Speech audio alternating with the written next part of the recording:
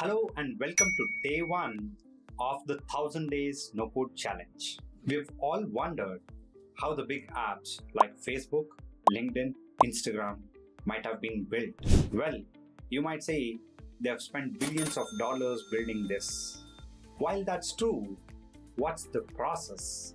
What tools and elements make this app stand out? I'm not here to lecture on how those apps were built back then, but rather to educate you on how these apps can be built in today's world using no code platforms. And it's not just about social media apps.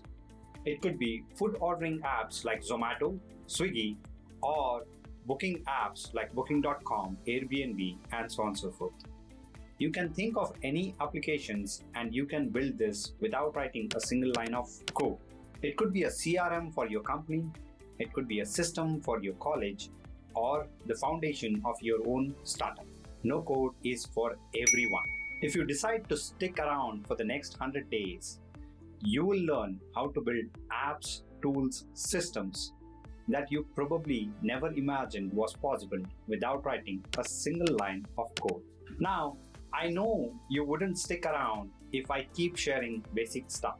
So, I've decided something exciting for us a clear end goal.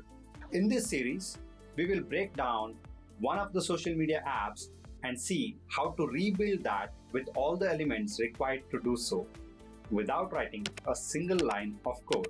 Before we get started, I would like to thank each one of you for being a part of this journey. Some of you are here out of curiosity, some of you are here to learn some new skills, some of you might already have an idea which needs to be built. No matter what it is, you have taken the first step, and that's the most important thing. The next 100 days is going to change your life. Let's get started. So head over to bubble.io, click on Get Started. You can continue with Google or you can use email ID and password. So let me start with ABCD or 7 let me start with ABCD at ritz7.com and you have to give a password. Now it says password needs to be 8 characters long, at least one number, at least one upper letter, and at least one special character. So let's use that.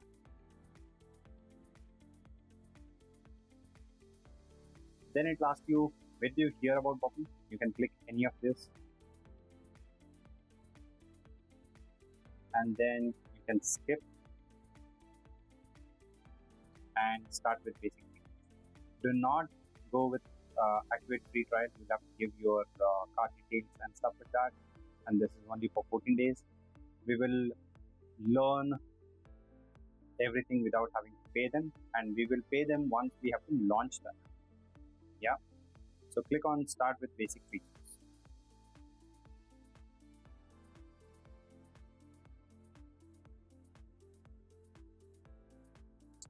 You can skip everything that comes on the screen. So close this, close this, close this, and also close this. That's all for today. You have created a Bubble account and an app on Bubble.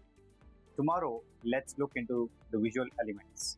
And that's just a baby step towards building your own app. Today, we have set the stage for the next 100 days to come. You don't have to be a tech genius or coding wizard to continue the journey with us.